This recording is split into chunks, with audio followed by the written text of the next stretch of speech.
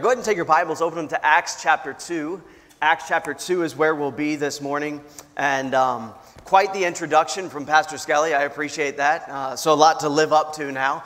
Um, I'm only popular among about 100 people in America. So, uh, anyways, it's great to be with you guys. First time in Australia, and uh, I love it. I love it. You guys are so welcoming. Uh, just the culture in general it just seems to be so welcoming. Faith Baptist Church, your people are just incredibly welcoming from the moment we walked in the door the other night for the very first time. Just felt like we've been at home.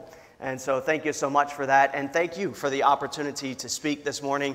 And thank all of you uh, for being here, coming to TNS this year. Uh, it's, it's been a great experience, and I'm looking forward to the last couple of days here. Uh, so, the theme, obviously, for, for the week has been My Church. And I thought this morning it would be appropriate for us just to take a few moments and look at what is God's vision for the church.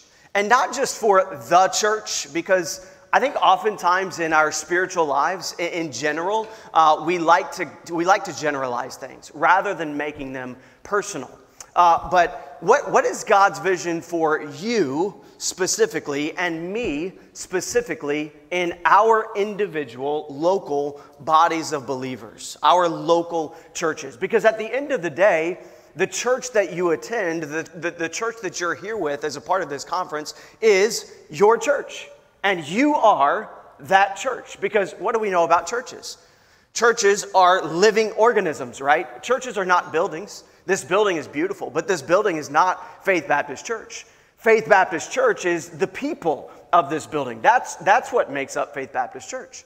And we come to Acts chapter 2, and you know this already, but w- what we see in Acts chapter 2 is the beginning of what we know today as the local church. This is Pentecost. This is when the Holy Spirit is poured out upon the church. This is the birth of the local church.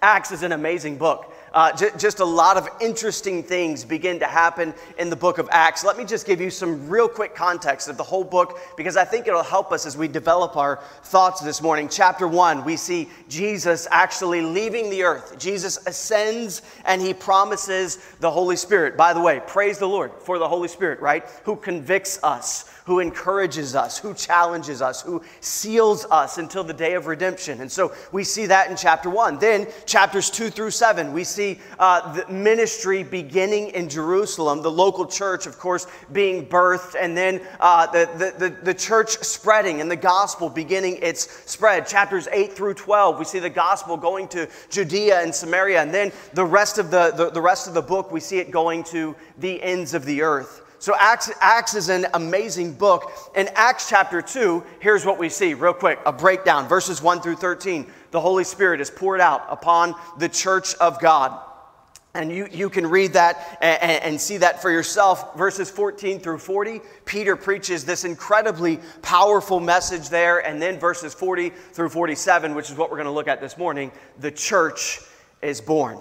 Let me just say before I pray and we jump in this morning, can you just ask God this morning? I know we've got an, an amazing day in front of us, looking forward to, to getting to the zoo. But this morning, as we hear God's word preached right now, as we go to our breakout sessions in just a few minutes, can, can you just take a minute as I pray and just ask God what He wants to do in your life this morning? Because here's what I believe anytime the Word of God is preached, anytime it's shared, God wants to do something in the hearts and the minds of those that are hearing God's Word.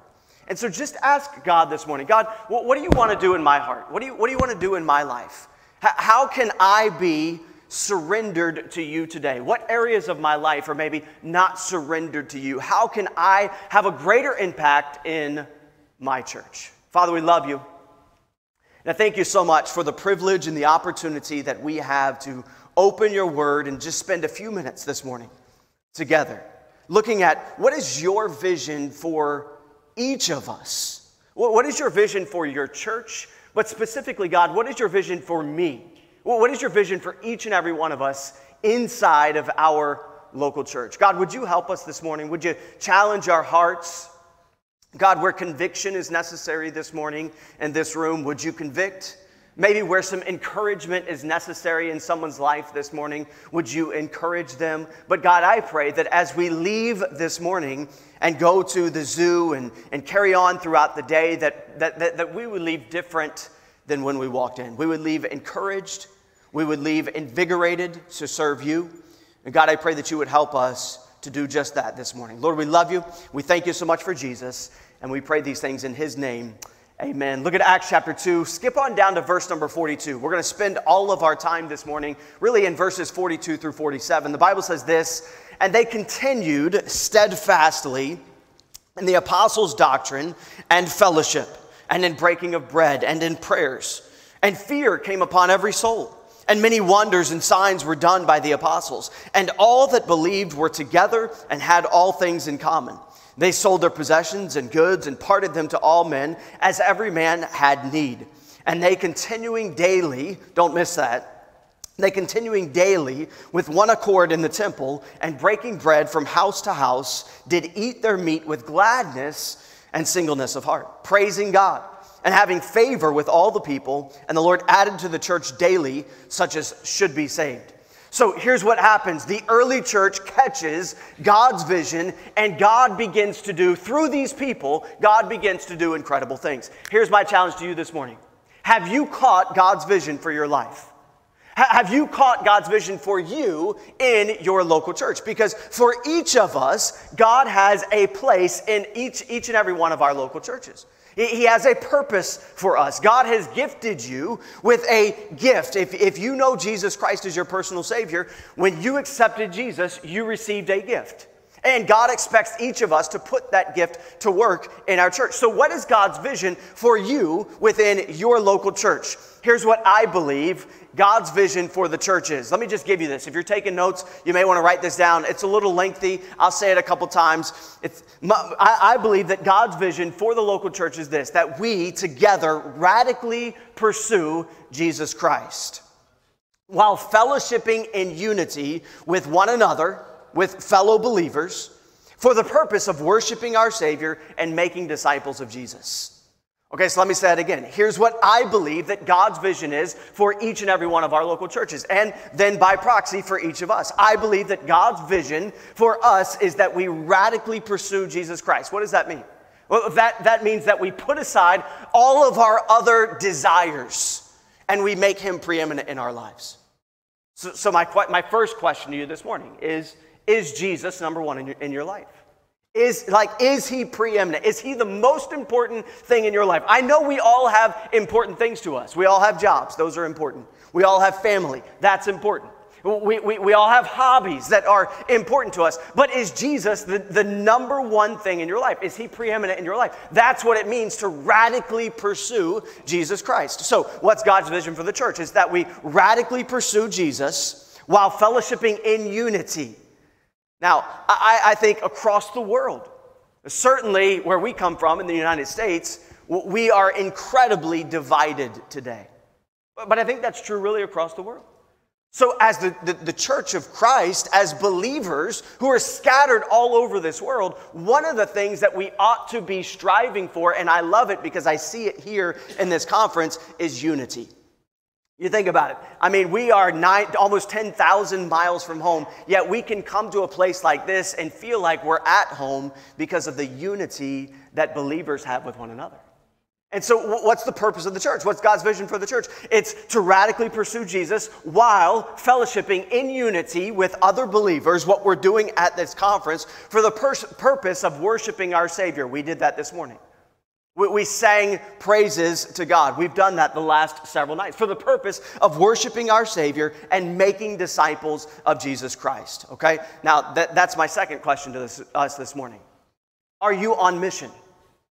Because God's vision for the church is what I just told you to radically pursue Jesus. But are we on mission? Because the mission that God has called each of us to is that we are making disciples of Jesus Christ. So, how are we doing? How am I doing? How are you doing in your personal life in making disciples of Jesus Christ? Like, is that something that's important to you? Sharing your faith, letting other people know that, hey, yes, I'm a young adult. Yes, I, I, I, love Jesus. And yes, I'm going to serve him with my life. One of the things that does the most damage to the cause of Christ in our world today is hypocrisy.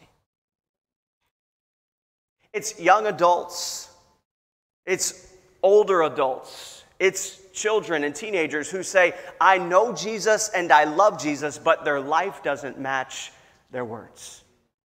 So, are we making disciples of Jesus Christ?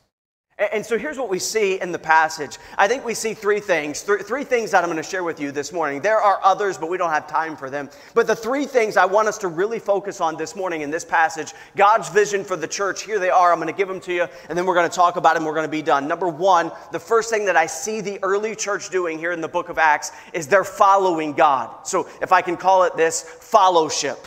That's the first thing that I see. Look back at Acts chapter 2 and verse number 42. The Bible says this in verse 42. And they continued steadfastly. Actually, go back to verse 41. We'll start there. Then they that gladly received him, received his word, excuse me, were baptized. And listen to this the same day. The, same day, they were added to the church. This is right after that incredible message that's been preached by Peter. The same day they were added to the church. How many souls? Help me out. How many? 3,000. Could you imagine that? Like the beginning of the church, now there's 3,000 people that just accepted Christ. What an incredible problem to have, right? But, but it, it is an issue that they're going to have to deal with. But now in verse number 42, it says this, and they, that is all of those that accepted Christ, and they continued steadfastly in the apostles' doctrine, that teaching that they had heard, that preaching that they had heard. They continued steadfastly in it. In other words, they clung to it. It became a part of their life. They truly followed God with their life and listen, they did it immediately. There was some immediacy to their action. So they heard the word of God preached, they accepted it, and then immediately they began to put it into practice. Let me ask you this question When God speaks to your heart, do you follow him immediately? Because oftentimes I feel, I feel as though, and maybe this is just me, but oftentimes I feel as though when God speaks to us, we want to delay. And we want to make sure, like, God, I, don't know that you're actually calling me to that. Rather than just surrendering ourselves to God and saying, you know what, God, you've spoken to me about this, and now I'm, I'm surrendering it to you. Maybe it's already happened in this conference. I mean, we've had two great nights of preaching where God's word has been, has been exposited and clearly explained to us for two straight nights, four, four different messages, and maybe God has spoken to your heart in some way and you're just holding back something from Him. Why? What are we waiting on? Why, why aren't we willing to just say, you know what, God, you're speaking to me about this. I'm surrendering this area of my life to you. These people in the book of Acts immediately responded. So there was an immediacy to their action, their following of God. They didn't wait, they, they, they immediately began to act. Can I say this too? There's, there ought to be some immediate involvement in your local church. I know oftentimes you might hear as young adults, you might hear, you are the church of tomorrow. Can I tell you, that's not true. You're the church of today. Like your churches are your churches. Ultimately, there's God, they're, they're, God's churches. We know that, right? I think we can all agree to that. Your church is God's church. But the fact is, is that you are an incredibly important demographic in your local church. Your churches need you. And they don't just need you there. They don't just need you present in the seats. They do, but your churches need you involved. And I know I'm probably preaching to the choir. I know in the game yesterday, all of you stood up when, when Ray was asking how you're involved in your local churches. And that was an incredible thing to see. But your churches need you, they need your gifts. They need your skills, the talents, the ability, the natural talents that God has given you, your learned abilities. Your church needs those. And God has given those things to you for a purpose. Are you using them? Are they being put to work? And so there was an immediacy to their action here. They're following Christ and they do it immediately. The, the, the same day they were added to the church, about 3,000 souls, and they continued steadfastly in the apostles' doctrine. But not only was there an immediacy that I see here, there was intentionality. Look down at verse number 42. I just talked about it, but they continued steadfastly, continuing. This was a mark of the authenticity of the decision that they had just made. They're continuing. The, the, the, fact that they didn't just make a decision and then go another way. You know, it's easy at a conference like this, oftentimes, for us to make a decision, go back home, and forget about the card that we put on the rock. You know what I mean? And it's easy for us to come to a conference where we spend hours upon hours upon hours for days in a row really studying and involving ourselves in God's Word and maybe putting aside some of the other distractions that are typically there in our lives. And God speaks to us and we make a decision and we come to an altar and we fill out a card and we stick it on a rock, but then we get home and we get back into our routine and nothing really changes. There was not only immediacy, there was some intentionality to their decision here. They continued steadfastly in the apostles' doctrine. They kept studying on their own. Would, would you just make this commitment to yourself and really to God? But would you, would, you determine, maybe even this morning, hey, listen, I'm, I'm going to continue steadfastly in what I hear this week? I'm not just going to make a decision at TNS and then go home and forget about it. So there was immediacy, there was intentionality, and we've got to move just for sake of time. But then I want you to see, thirdly, there was some urgency. There was some urgency in their life at this point. So they gave themselves to prayer. Look at verse number 42. They continued steadfastly in the apostles' doctrine, that is their teaching, and fellowship, and we'll talk about that in just a minute, and in breaking of bread, and in prayers. Prayer became a priority in their lives.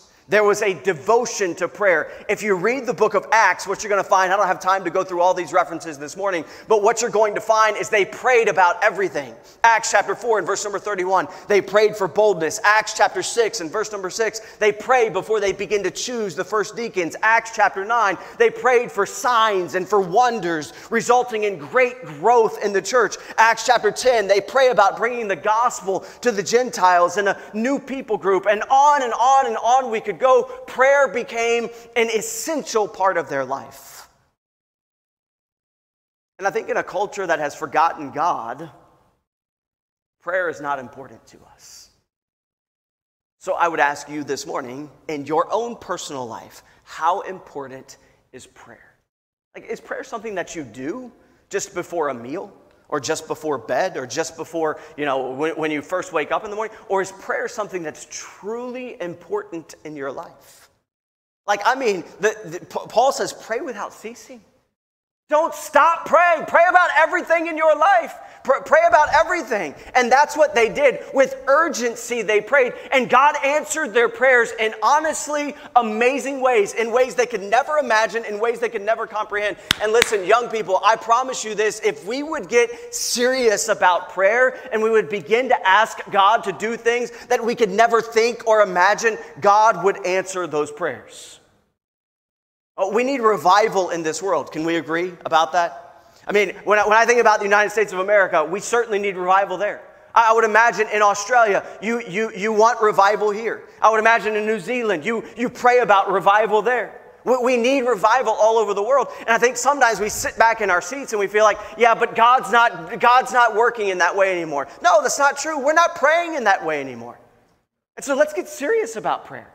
Let's get serious about, uh, about an urgency, asking God to send revival in our nations, asking God to send revival in our conferences, asking God to send revival amongst our young people, asking God to send revival.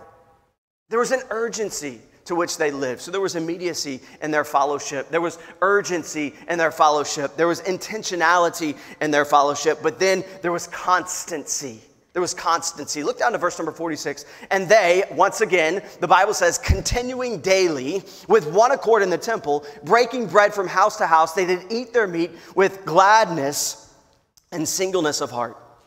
And so this became a daily lifestyle for them. Like it wasn't just when they came to TNS. It wasn't just on Sunday, Sunday morning when they went to church.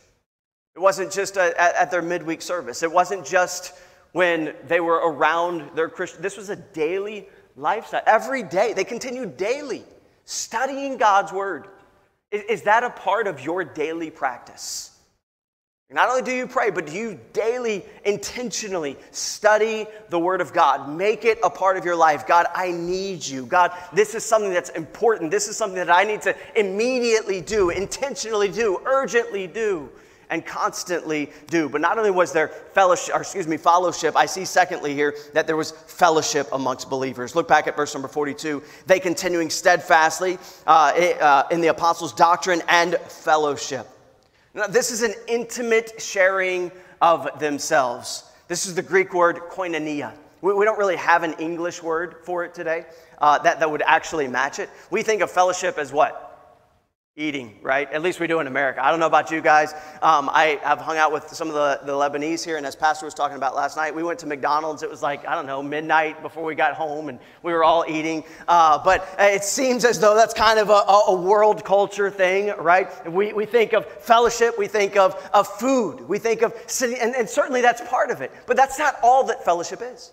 The, the word here is an intimate sharing of oneself. It's actually something that we don't do well today.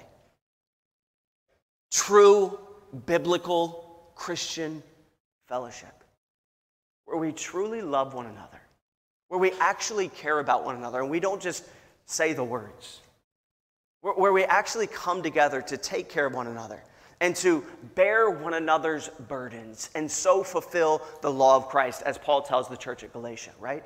That's the idea here. This, this fellowship that is taking place in the, the, the, early church and the fellowship that should be taking place in your church is always centered around the person of Jesus Christ. It was centered around who they now were in Christ. Listen, last night, Pastor Skelly and Pastor Mordh both talked about your identity in Jesus Christ. You are created in Christ, 1 Corinthians, a new creature. Old things are passed away. Behold, all things are become new. And listen, as a new creature in Christ, you ought to care about your fellow believer and live in unity with your fellow believer and in fellowship with your fellow believer in ways that you never did before you were saved. And so that's what the word means here. They, they weren't just eating together, they were. It was much, much deeper than that. It was an intimate sharing of themselves, but then it was a profound caring for one another. Look at verse 44. And all that believed were together, and they had all things in common. Okay, this is not socialism. This is not communism. This is not what, what this verse is talking about. But this was people who saw other people in need. We see it in verse 45. Look at it with me. They sold their possessions and goods, they parted them to all man as every man had need. So here's what's happening. Again, not socialism, not communism. Nobody's telling them they have to sell their stuff and give it away. Nobody's telling them we're taking your stuff and sharing it with other people. This is people looking at other people and saying, you know what? They have a greater need than I do, and I want to meet that need. When was the last time you did that? When was the last time that I looked at somebody and I saw their need and how much greater their need was than me, and I humbled myself so that I could meet their need? That's true fellowship. That's true koinonia. That's what we need in our churches. And listen, you are, you are, don't miss this, you are the generation that can bring that. You are the generation that is searching for truth. You are the generation that can bring true followship and true koinonia to our churches. And so there was fellowship. They followed God with immediacy, with intentionality, with urgency, with constancy. But then there was fellowship. Finally, finally, this morning, there was unity. Look at verse 44. Actually, skip on down to four, verse 46 for sake of time. We already read 44 and 45. And they continuing daily with one accord in the temple and breaking bread from house to house, did eat their meat with gladness and singleness of heart. And so his vision not only includes fellowship, it not only includes fellowship, but it includes unity. In 1 Corinthians chapter 1, Paul tells the church at Corinth, Now I beseech you, brethren, by the name of our Lord Jesus Christ, that you all speak the same thing, and that there be no divisions among you but that you be perfectly joined together in the same mind and the same judgment. Listen, if you read the New Testament, what you see in the New Testament is time after time after time after time again, the apostles encouraging the churches to dwell in unity with one another, to work together, to strive together for the sake of the gospel of Jesus Christ. Listen, I believe that God wants to use this generation to do some of his greatest work that he's ever done. I truly believe that. But I also believe that unless we can learn to dwell together and strive together in unity for the sake of the gospel, that that's not going to happen. That's not going to happen. Because God loves unity. God loves churches and people who, to, who dwell together in unity. Let me give you these thoughts and I'll be done. Four things that unity requires. Four, four things that unity requires. And by the way, this, is, this has got to be true in your life. Listen to me. If you're not, if these things are not true about you, then you're not dwelling in unity with others. If these things are not true about your church, then your church is not dwelling in unity with one another. So here's four things that, that unity requires. Number one, unity requires deference. You know what I mean by that? You guys know what that word means? Unity requires deference. It requires me to put aside my opinions and my uh, desires and my preferences and really allow others to bring theirs in. Unity requires deference. It's, it's me looking first upon the things of others. It's me humbling myself and allowing other people to have opinions too. That's a hard thing for us to do in a social media culture that's so me driven, right? But unity requires deference. Number two, unity requires mutual respect. Unity requires mutual respect. Again, something that we have lost in our world today.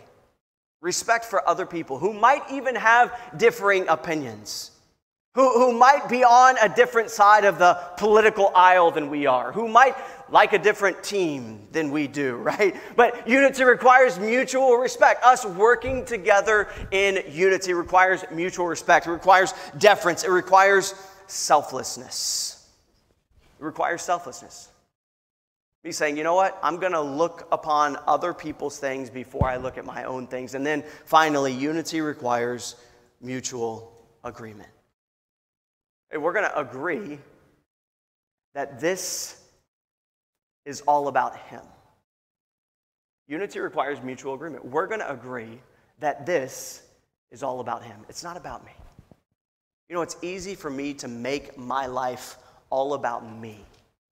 It's easy for me to make everything all about me. I'm going to do this. I'm going to get a lot of money. I'm going to be successful in my job. I'm going to fill in the blank.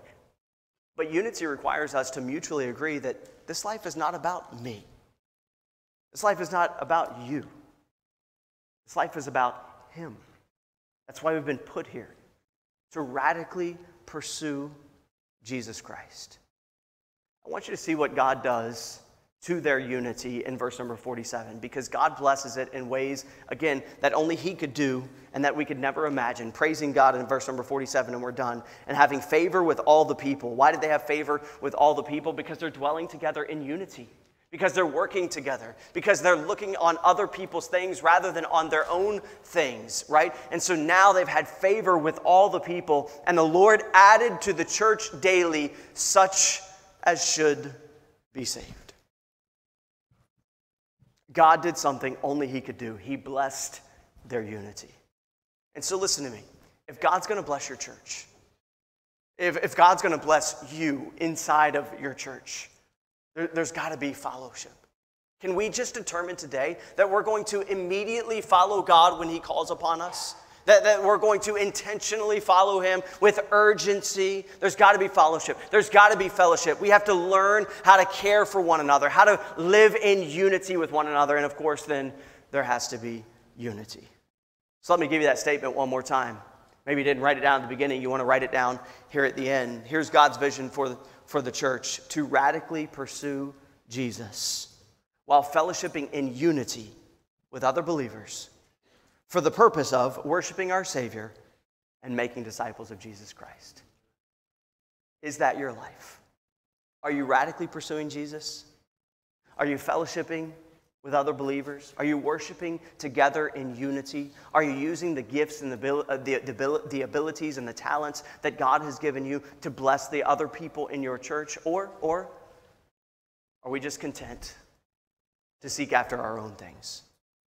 To live for ourselves, to make our life all about me, to, to, to, not consider what, what God is, is doing in our hearts. Is that what we are content with, or do we want more? Father, would you help us this morning to want more? Would you help us to be people who would intentionally and immediately and urgently follow you?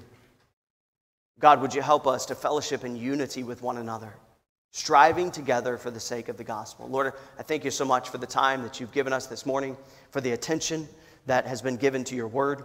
And I pray that your word has, has been a blessing, a challenge, conviction in hearts this morning. In Jesus' name we pray. Amen.